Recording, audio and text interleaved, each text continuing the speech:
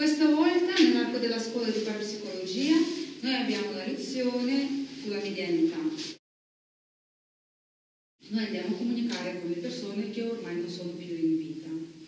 Non è un percorso per tutti, perciò qualcuno si può sentire bene facendo questi esercizi, per qualcuno le energie possono essere anche più pesanti, ma questa fa niente, dovete proprio capire se è un percorso adatto per voi o meno.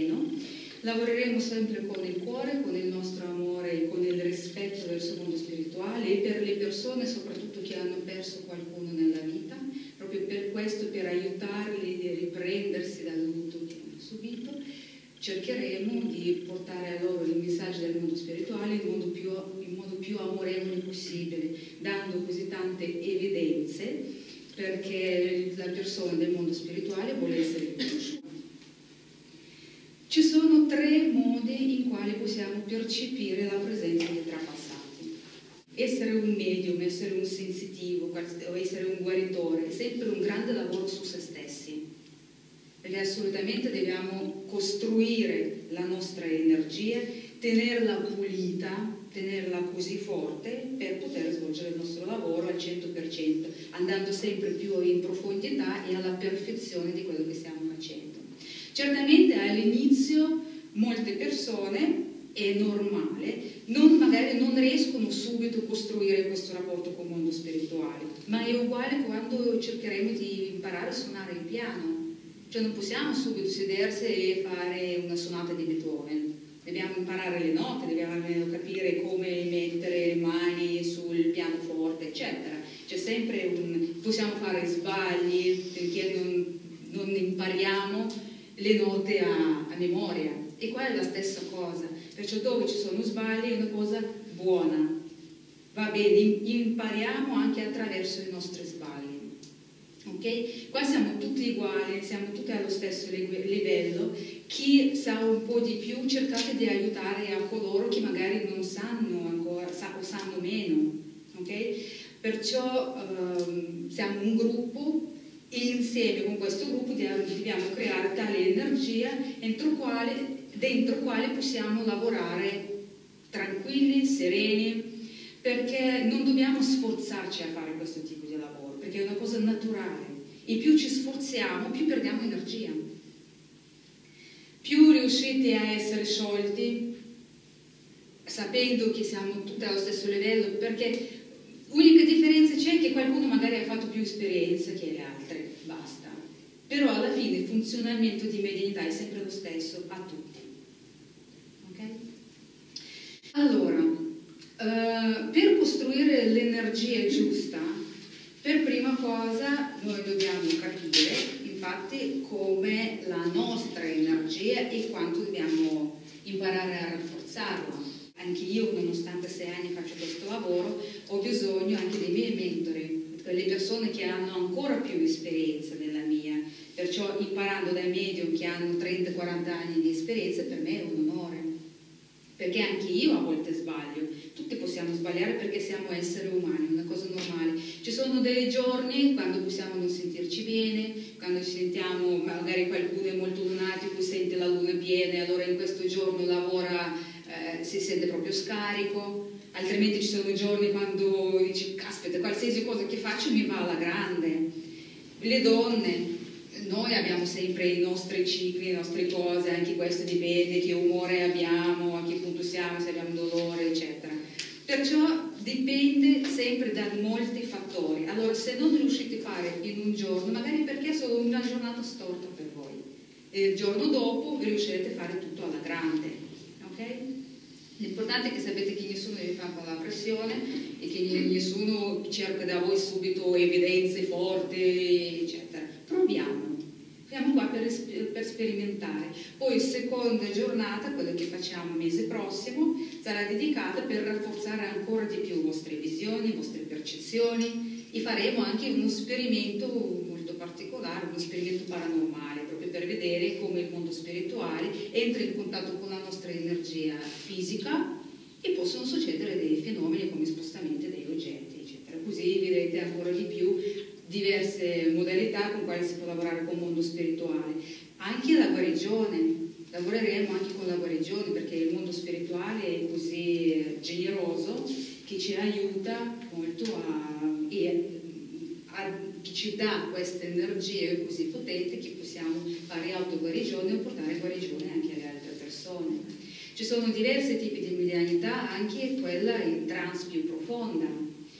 Quella medianità che sappiamo fare noi, o sapremo fare noi, vuol dire che noi eh, saremo sempre in stato alterato di coscienza, però che la portiamo un po' a, a, alle, la nostra mente sarà comunque sveglia.